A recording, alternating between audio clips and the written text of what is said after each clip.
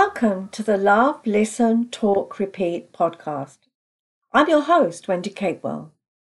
The topic of each episode is about relationships the one with ourselves or the relationship with others. So let's get on with this week's episode. I have with me today this lovely man who I've talked to quite a lot of times now. He's the scary guy. And I'm going to just hand you over to Scary to introduce himself and tell us a bit more about himself.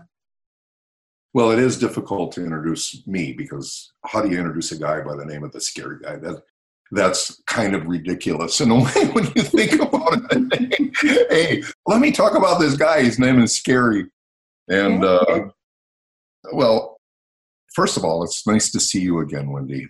Well, my name is the Scary Guy, and it is it is legal. And believe it or not, I got to show you this. It's incredible. Your passport's in the same name. I don't know if you can read it. Can you see it? It's a bit difficult, but it is the scary guy. Yeah, and it's on the British passport now too. So I have a British passport. But what's funny about that, when I became a British citizen, I had, uh, which by the way is a whole story unto itself, becoming a. British citizen. It's not easy. It's not easy to become a British citizen. It took me 10 years and a lot of money to become a British citizen. Wow. Yeah, and then I applied for my uh, passport, which is what you do when you're a citizen. Yeah.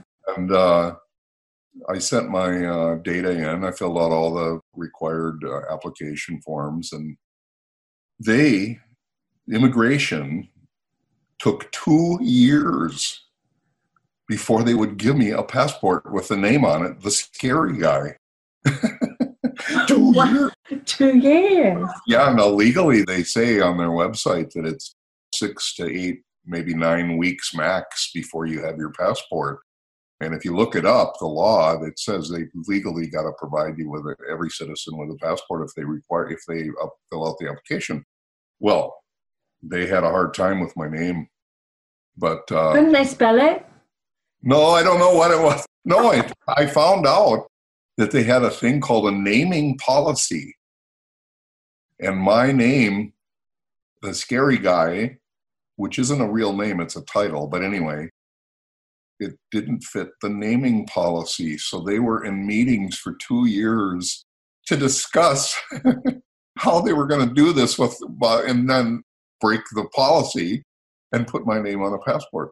But I don't know what the the whole all of the details are. But I end up I ended up getting my name on a British passport, and um, people have a hard time with it. But it's the scary guy, and uh, it's a long story. I won't bore everybody with the whole details of the the story. But I changed my name 21 years ago in a court of law because somebody I don't know called me the scary guy in a newspaper advert when I was. Hi. Well, I had three tattoo shops in Tucson, Arizona. See, and I was a happy, sassy, Harley riding tattoo shop owner, and I had ten artists working for me, and I made a lot of money, and I thought that's what I would do the rest of my life.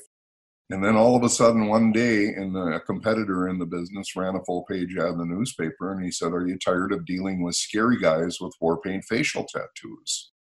And I read the ad in the paper and I slammed it down on the counter. And the first thought that came to my mind was, what am I going to do to get that guy back? You know, revenge. And uh, I thought, well, I'll run a negative ad about him and I'll talk. And I didn't even know who he was. And I thought, no, no, no, I'm not that kind of guy. I'm a good guy. He's the bad guy. This is what I thought in my mind. See, I went through all these weird. Yeah. Thoughts.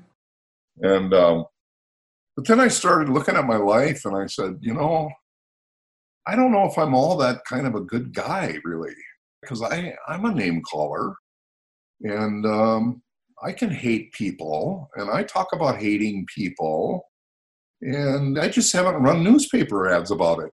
That's all. So I, I kind of, in self reflection, I started seeing myself kind of the same as the guy that ran the ad about me. Because I was having a hard time with this guy calling me a name and I didn't even know who he was. He called me the scary guy, see?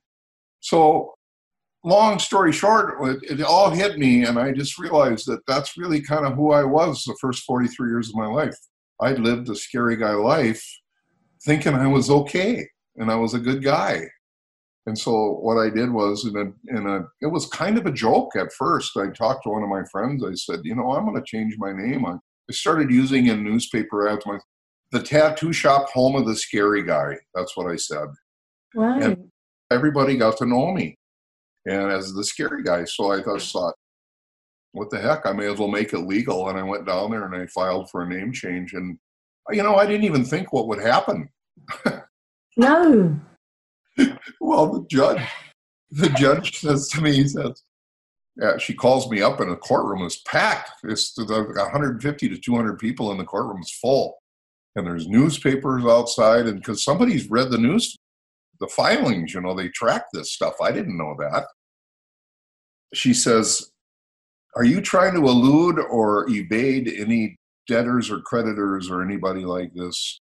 And I said, No. She says, Well, this is the most unusual name change I've ever granted, but I'm going to go ahead and grant it. And She slammed the gavel down, and I became the scary guy on that day, 21 years ago. When I walked out the courtroom, there was three or four news channels in America waiting to interview me about this. What kind of a lunatic would change his name to the scary guy? Well, you're looking at him. This is the lunatic over here and so what I decided to do is I put myself on a seven day, seven night challenge. If I really going to change who I am at that point, I decided I wasn't going to be this bad guy anymore and live this lie. Basically, I lived this lie for many years, not knowing it. I didn't wake up every day and say, "Oh, I'm a liar today." No, I just thought mm-hmm. everything I did was okay. I thought, well, um, is it possible for me to change my ways? And the name represented my past life. That's what people have a hard time with today. They say, What's your name? The scary. They go, You're not scary. No, you're not. That's the first thing I said as well. I said, Well, wait, it's not about my name, it's about my behavior. And they go, Oh, mm-hmm. oh, yeah. I said, Well, then it's also about my past behavior. So I've made some changes since then. So I, in order to make those changes, I put myself on a seven day, seven night challenge. And yeah. the rest is history. And they can Google it, they can check it out, and they can read stories and look at film and all kinds of stuff about what I've done. So that's how I got my name.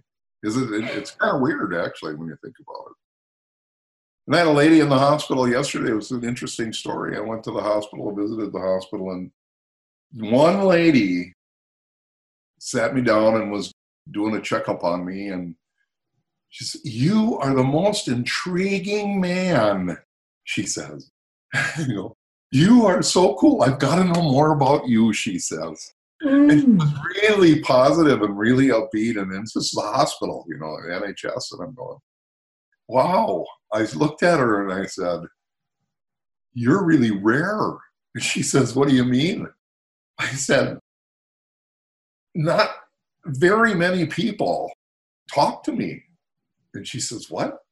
I says, No, they act like I'm either not there or that I'm invisible or they look like they ignore me, but I know out of the corner of their eye they're looking. Because if I saw a guy sitting in a lobby that looked like me, I'd be staring at him. I'm sorry. Because he's that different looking. He's that unusual. Not in a negative way, just I'd be looking at him. He's tattooed. Yeah from the top of his head all the way down his body, he's got to be full of tattoos. His face is tattooed. So, um, anyway, I met this really nice, pleasant lady, and I just thought, well, she reminds me of Wendy. Ah.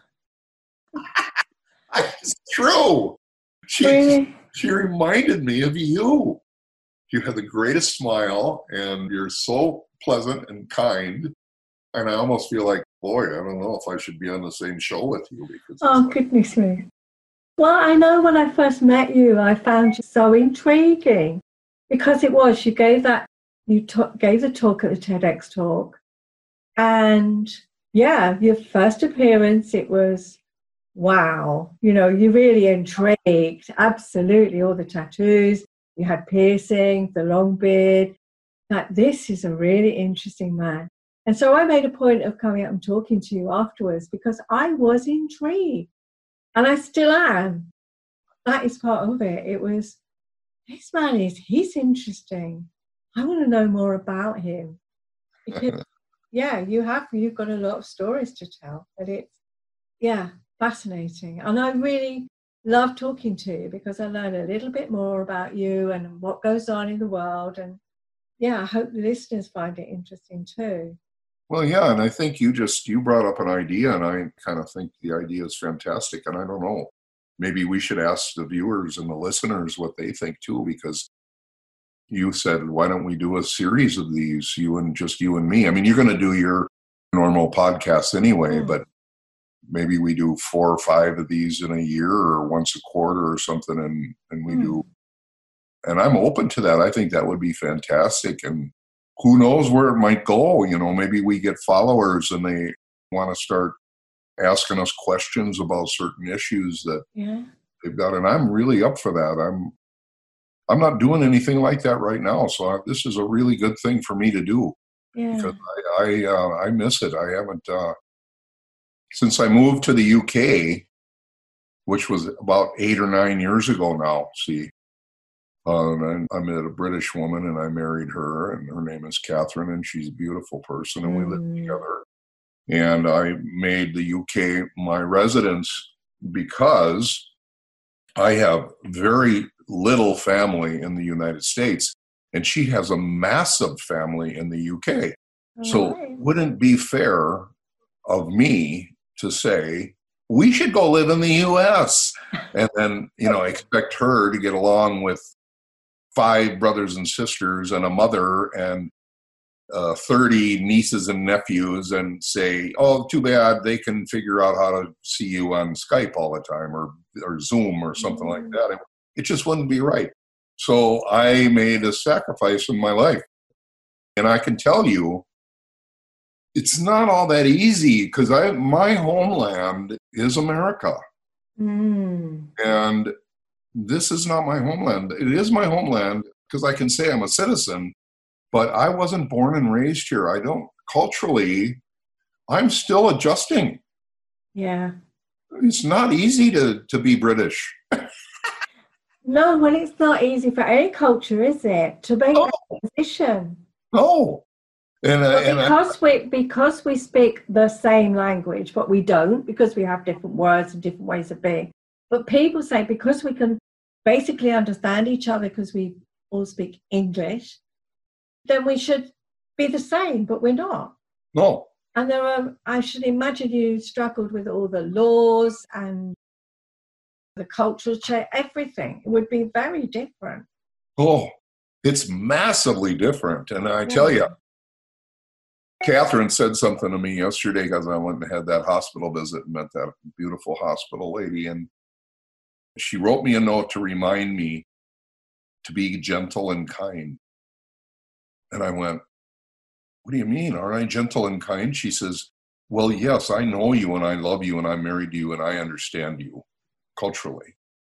And I says, Well, just tell me exactly what you mean. She says, Everybody else sees you as abrasive, rude, obnoxious, in their face because of the way you are. You, you're straightforward, you talk, you, you, you ask questions. British people don't like to talk about things that much directly.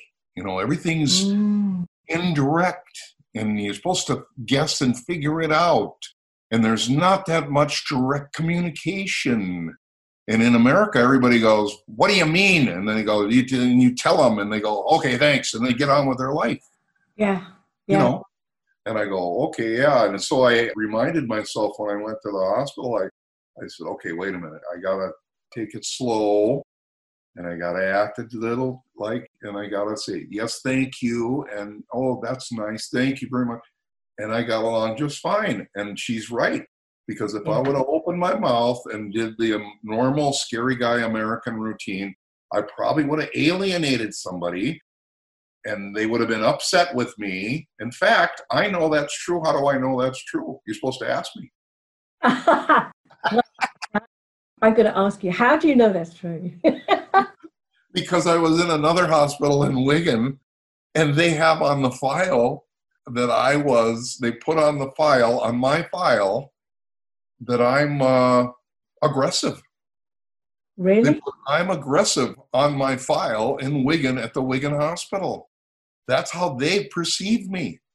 And I go, I've already got a label at the hospital in Wigan. I don't want a second one in a different hospital. So I was kind and nice. But I wasn't aggressive. I didn't. I don't see myself. Do you see me as aggressive? No, I've none. I've not seen that in you at all. Oh well, that a lot of people take this energy. But is that? But is that because they see you and they see your tattoos and they've made a decision about you without really knowing you? And is that because you are direct and people, as you say, especially the British, they can't cope with being direct. I don't like confrontation. No, you don't like what you don't like is you don't like conflict because you assume that if you are direct and say what you want, that it will turn into conflict. Yep, absolutely. What, I think this is what the problem is. People judge, and I don't know about you, but when I have clients, and maybe I'll get if they're referred to me, I may get some background about them. And it's a case of, ah, well, I if I see if somebody just walks in the door or I've had a conversation with them, I no preconceived ideas at all. But if I get notes yeah. and there is, oh heck, that person sounds like they could be really difficult to deal with, or that person, they might be tricky, or they might be you start off with that. Or if I have a conversation, I had a conversation with a client. I hadn't, we hadn't met. She called me and said, Oh, I really can't make this call. I can't make it. I'm really upset and we got to change it. And she really sounded quite feisty on the phone. And I thought, oh my goodness, I don't know if I can help this lady. I don't know how I feel about her. And we, she came and she was culturally different. Yeah. And then I went, ah, now I get it. Yeah. You could sense all the anger inside her. But you know what? I know inside that tough outer shell, as we've worked more and more together, there is a beautiful person in there.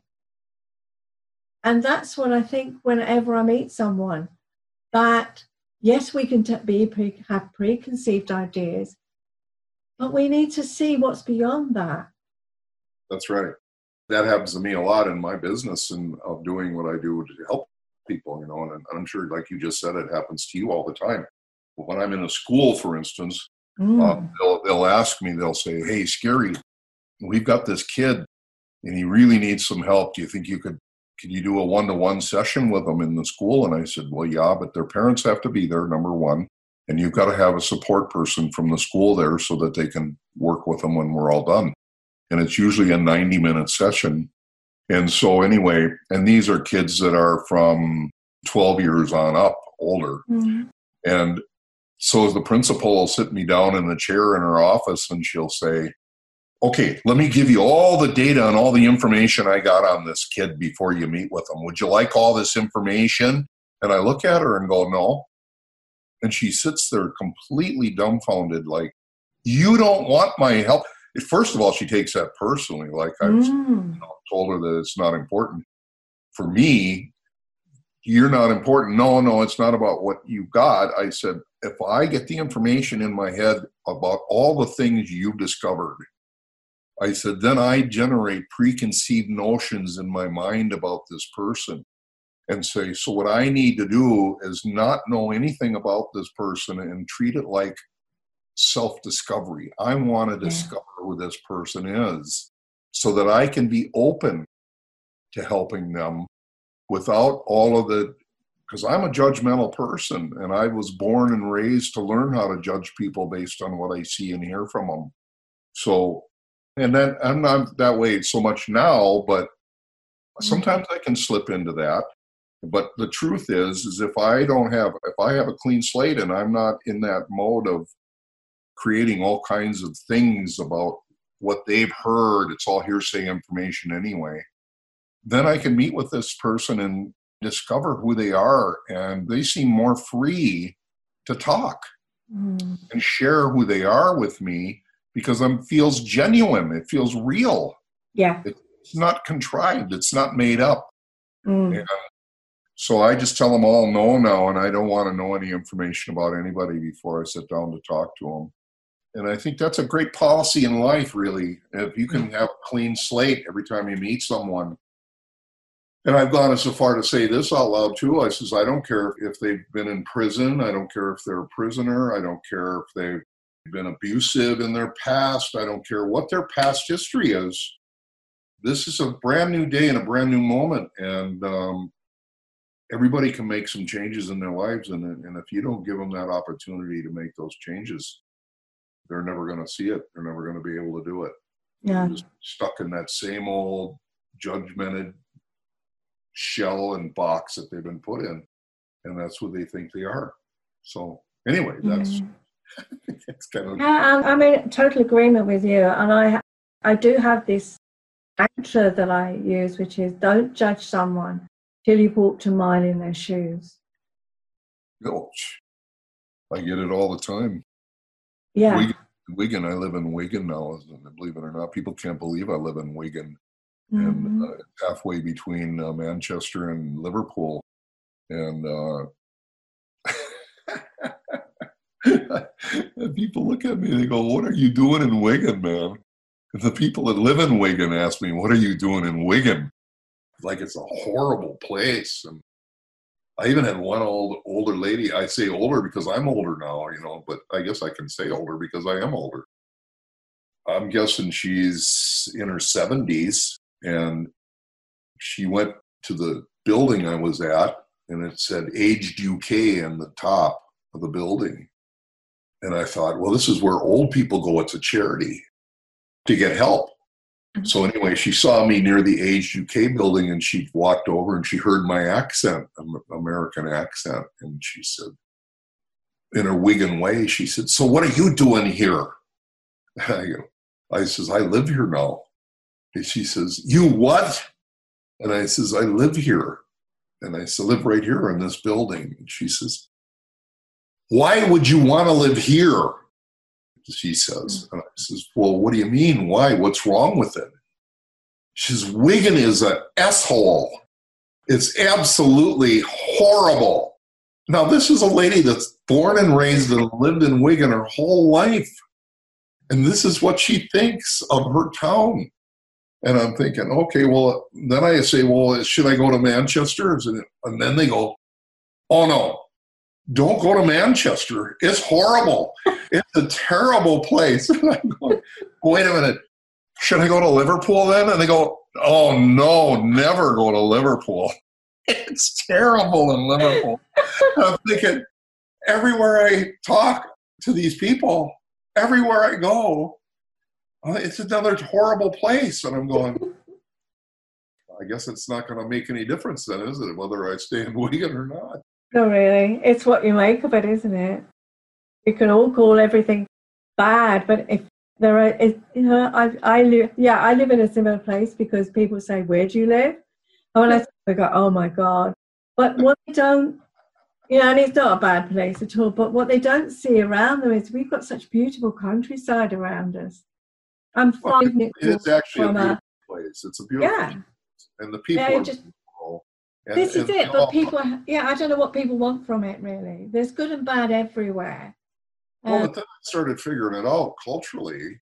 yeah, Uh, and here I am. I might be generalizing and stereotyping because I'm going to say this. I'm going to say the British culture likes to hear about the downfall of the next guy.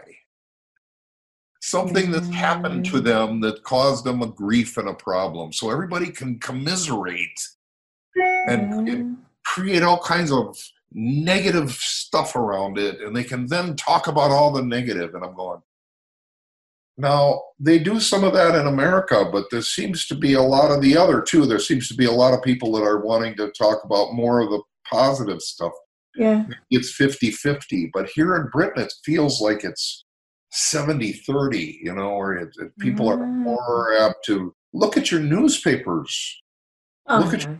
I don't even I know if you call them newspapers. I mean, gossip magazines. You know, it's like it's one negative story after another. I don't even look at them. I don't even look at the news anymore. It's just that way. no, I don't either. I don't watch the news um, simply because. So how do you cope? Oh, wonderfully. I have the most wonderful time because I couldn't give a damn what's going on, you know? it doesn't matter to me. And when I see or hear there are six pieces of bad news, one after another, sensationalized, what does it do? It just creates fear within us. And if you start your day feeling fearful, I can't walk outside the door, I might get mugged. I can't go up to London, there could be a terrorist. I can't, I mean, for goodness sake, oh, coronavirus. Hey, Yeah. Uh, it's, you know, That's we live our whole lives in fear. But what is interesting, I mean, yeah, they would do it to sell the news, sell newspapers. But I have this theory it controls the masses as well. Yes, I agree, 100%. Because if all the time we're fearful, we're going to be behave. They, they, we're not going to step out of line too far. That's it. So And I think I- that has something to do with how people perceive me because I ask more questions. Probably over 60% of my life is asking Mm, people questions. And only because it's the only way I'm going to know more. It's the only way I'm going to find out.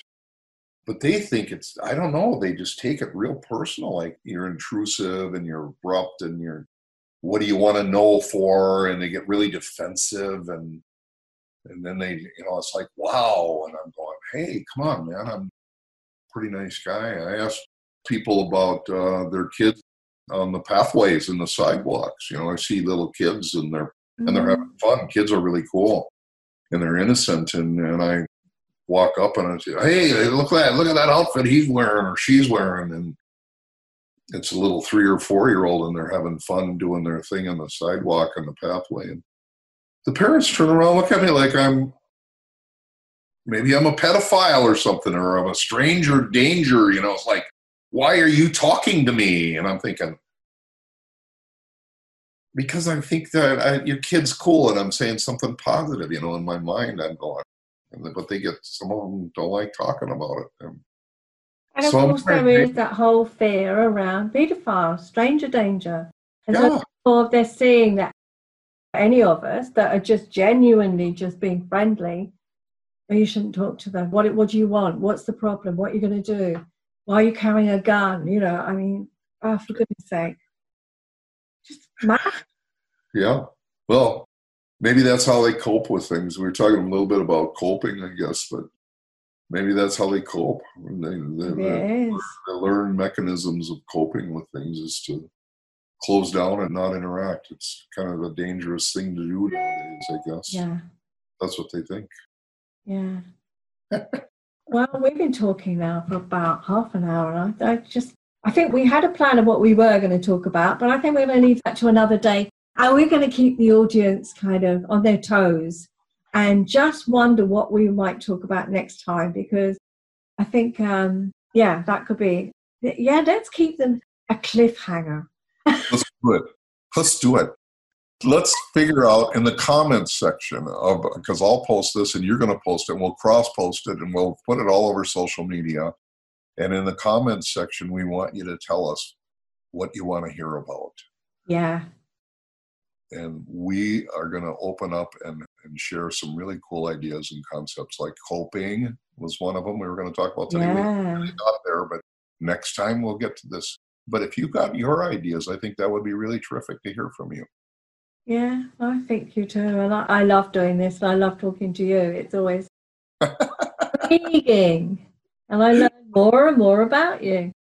and i learn a lot about you too you're fantastic So, how do people get in touch with you if they want to learn more about what you do because you do help people? well they can call they can call my mobile phone that's a, okay. they can i put my mobile phone on facebook. I put my mobile phone number on twitter. I put my mobile phone number on everything and Yeah. everybody goes what are you doing? I says i'm in the people business. Look at me. I love people. I mm-hmm. says you can't be in the people business and close off. And they said yeah but it's your private information. I said i don't care. Look at me. I'm not private anymore. This is my life Yeah. I said, so I put it on, and you can call me on the phone. You can email me. You can message me on Facebook. You can comment on YouTube. On it, it'll be on our YouTube channel. Go to my website. It's thescaryguy.com. It's 07496 605 866. Scary Guy at thescaryguy.com. And all of that will be put in the. What the show notes. Yeah, all in the show notes. Yeah.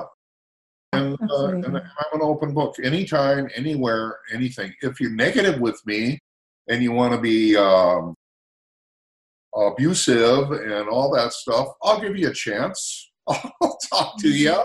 But if you continue with that behavior, chances are there's a thing called ban and block. I'm going to ban and block you because I'm not going to sit and take it. You know, it's no. just not healthy for me. So no, all exactly. of that is possible, and, and we and I deal with all of it, and I hear it and see it. So any way, shape, or form, let's go. Brilliant. Thank you so much for today. I've so enjoyed it. I hope the listeners have too. It's just uh, always a pleasure chatting to you. You rock. Thank you. I hope you enjoyed this episode. If you'd like to know more about me, go to my website, wendycapewell.co.uk, where you can find out about my services and how to contact me. Until next time, bye.